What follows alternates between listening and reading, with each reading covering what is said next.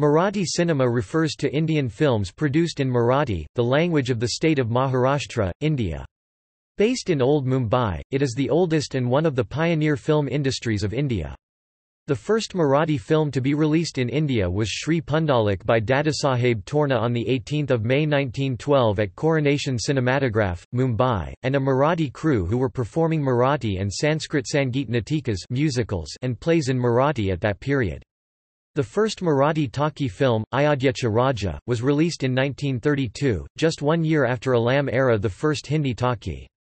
Although the industry is much smaller than the large market-driven Hindi cinema based in Mumbai, Marathi cinema is tax-free, and is experiencing growth in recent years. Raja Harish Chandra, directed by Dadasaheb Phalke, was a Marathi film, now known as India's first full-length feature, released in 1913. The Dadasaheb Phalke Award is India's highest award in cinema given annually by the Government of Maharashtra for lifetime contribution to Indian cinema.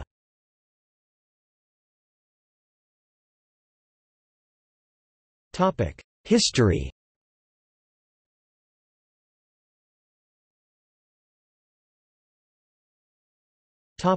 Silent movies period Marathi cinema is the oldest form of Indian cinema. The first Marathi movie released in India was Shri Pundalik by Dadasaheb Torne on 18 May 1912 at Coronation Cinematograph, Mumbai. Dadasaheb Phalke is known as the first pioneer and founder of cinema in pre-independence India. He brought the revolution of moving images to India with his first indigenously made film Raja Harish Chandra in 1913, which is considered by IFFI and NIFD as part of Marathi cinema as it was made by a Marathi dialogues while shooting and fully Marathi crew. Kolhapur in western Maharashtra was another centre of active film production in the 20s. In 1919 Baburao Mistry—popularly known as Baburao Painter, formed the Maharashtra Film Company with the blessings of the Maharaja of Kolhapur and released the first significant historical Sairandhri 1920 with Balasaheb Pawar, Kamala Devi and Zunzarao Pawar in stellar roles. Because of his special interest in sets, costumes, design and painting, he chose episodes from Maratha history for interpreting in the new medium and specialized in the historical genre. Baburao Painter made many silent movies till 1930. However, after a few more silent films, the Maharashtra Film Company pulled down its shutters with the advent of sound. Babu Rao was not particularly keen on the talkies for he believed that they would destroy the visual culture so painfully evolved over the years.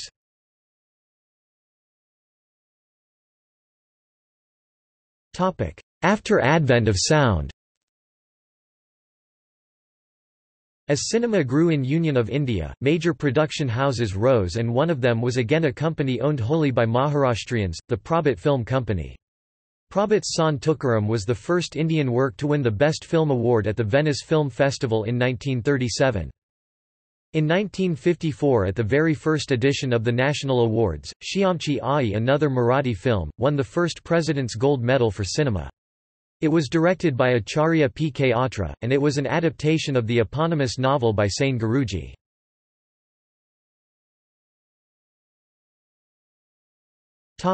The Golden Era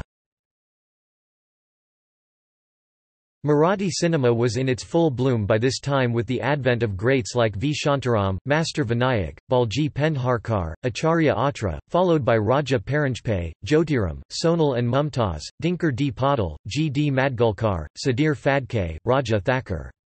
The 1960s saw the emergence of directors like Anant Mane who made Marathi films based on the folk art form tamasha. Then came directors like Datta Dharmadhikari and Raj Dutt who made traditional family dramas.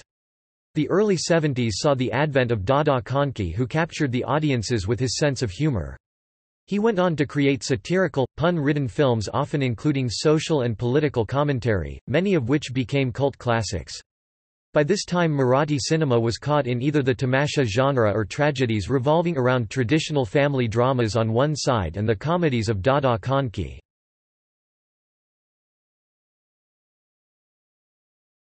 Topic: 1980s The 1980s saw two comedy heroes catapult to stardom, Ashok Saraf and Laxmikant Berde. Around the mid-80s two young actors donned the director's mantle, Mahesh Kothare and Sachin Pilgaonkar. Pilgaonkar directed Navri Mile Navriala and around the same time Mahesh Kothare directed Dhamdhadaka. Pilgaonkar's film was a box office hit while Mahesh Kothare's became a mega hit at the box office, became a trend-setter, and brought young audiences to Marathi cinema. Mahesh Kothare went on to make comedy films that became major hits. He made the first Marathi film shot on the anamorphic format CinemaScope. He brought a number of innovations in the technical quality of Marathi films and was the first to bring Dolby Digital sound to Marathi cinema with Chimani Pakhara. He made the first Marathi film with digital special effects, Pachadala, in 2004. He also made first Marathi movie in 3D Zapatlela 2, in 2013.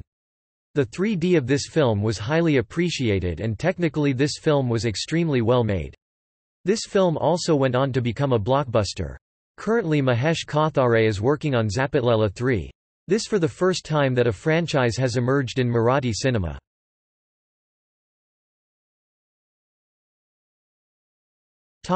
Reasons for the decline of Marathi cinema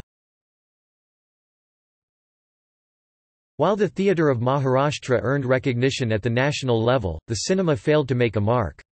A major reason was the proximity to the production centre of Hindi cinema Bollywood, which encroached on the identity of Marathi cinema.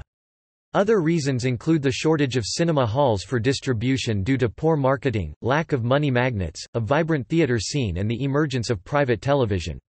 It also lacked the powerful lobby at the national level unlike Bengali and South Indian cinema because state Congress ruling party over 40 years encouraged Hindi cinema for profit mainly, the regional film industrial advantage being soaked up by Bollywood.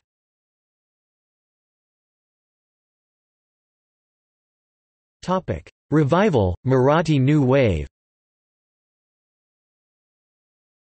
In past few years, the Marathi cinema industry has produced many films that are not only critically acclaimed but commercially successful as well.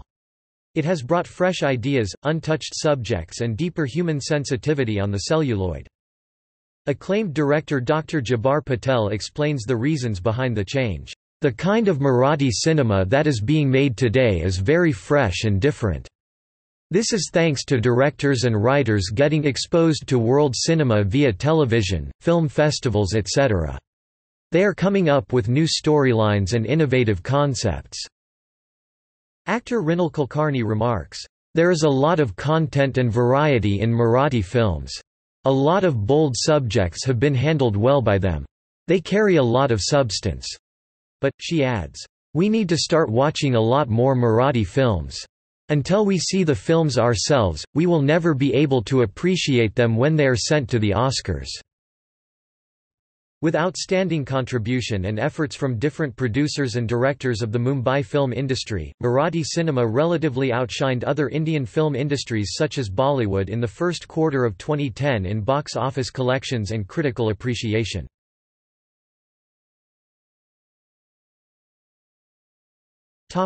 Contemporary Marathi cinema received critical acclaim in 2004 with the film Shwaas winning the Golden Lotus National Award. It was India's official entry to the 77th Academy Awards. It won the President's Medal for Best Film, beating Bollywood's prolific output with quality. Shwaas was the second Marathi film to win the President's Medal after Shyamchi Ai 1950. The Maharashtra state government has begun to issue grants to Marathi film between 1.5 million and 3.0 million rupees. After the success of Shwaas, Indian media players like Shringar Films and Zee Telefilms are exhibiting a re-emerging interest in Marathi cinema. The growing popularity of Marathi television notably Zee Marathi and ETV Marathi has helped to popularize older Marathi cinema and promote the genre. Zee Talkies, a 24-hour channel dedicated to Marathi movies, has been introduced. In 2009, Marathi film Harishchandrachi Factory with a budget of Rs. 6 crore, depicting the struggle of Dadasaheb Phalke in making Raja Harishchandra in 1913. India's first feature film, directed by theatre veteran Paresh Mokashi, was selected as India's official entry to Academy Award in the Best Foreign Language Film category, making it the second Marathi film, after Shwaas, to receive this honour. 2009 saw the blockbuster musical movie Natarang, which both commercial and critical applause and has served as a path breaking movie for Marathi cinema. Since the new decade beginning in 2010, several contemporary Marathi artistic films released including Umesh Vinayak Kulkarni's Vahir and Deool, and Nagraj Manjule's Fandri. They have given a new direction to Marathi films. Deool became the third movie after Shyamchi Ai and Shwaas to win the National Film Award for Best Feature Film Sairat 2016 musical romantic drama starring Rinku Rajguru and Akash Thosar, directed by Nagraj Manjule and produced by Nagraj Manjule, Nitin Keni, and Nikhil Sain emerged as the biggest weekend opener for a Marathi film breaking record previously held by Natsamrat. Sairat was the first Marathi film to cross 50 crore rupees $7.8 million mark. The film has become the first Marathi film to gross over 100 crore rupees $16 million worldwide. Also it ran for more than 100 days in many centres of Maharashtra.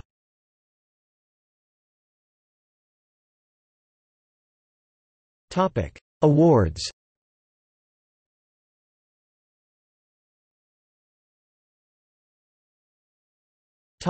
Filmfare Awards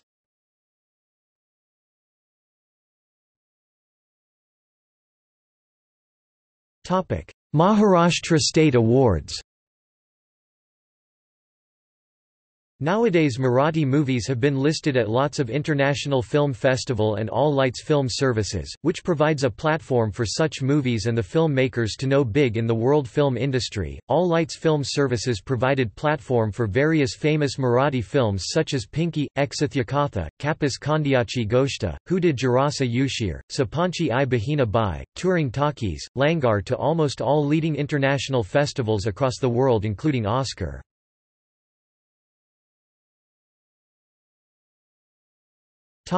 Highest grossing Marathi films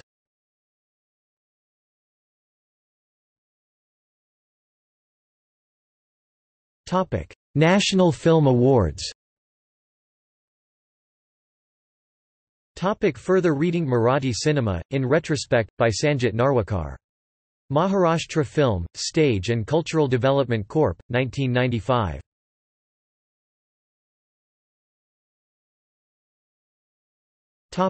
See also. List of Marathi films.